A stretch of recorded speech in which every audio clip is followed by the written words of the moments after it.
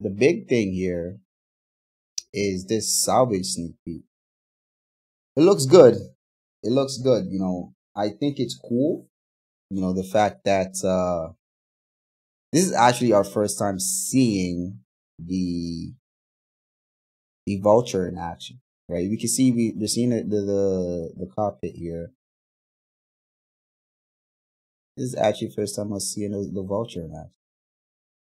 It says two and three. What is this? What are these? So these these are probably the beams, right? The guns, right? I'm guessing these are these two. But it says two and then there's three. What does that mean? And then there's there's a rate where it could probably yeah, I guess I guess when it's when it's uh extracting the actual hull, it's probably the rate that it has. You know, depending on what you have installed, right?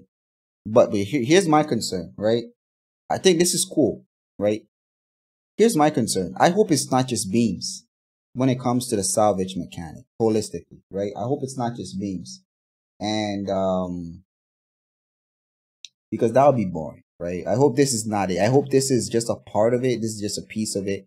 If you want to strip the hulls of something, you need, uh, lasers to strip it off and then, um, the lasers will also extract the hull, right? But also like if you want to break apart components, if you want to take components apart, you also need to do something on the ship. And I hope it's a different instrument that you'll need on the ship um, to help actually break apart certain pieces to retrieve components and things of that nature, you know, which will require, um, which will add to the complexity of the, the salvaging profession, right? So I hope that it's just not lasers. I just hope it's just not lasers and I hope this is not the whole thing, you know, because that will suck, you know, so, you know, that's, that's my only concern when it comes to the salvage mechanic, but, um, I'm, I'm kind of excited, man. It's, it's 318. We're almost there.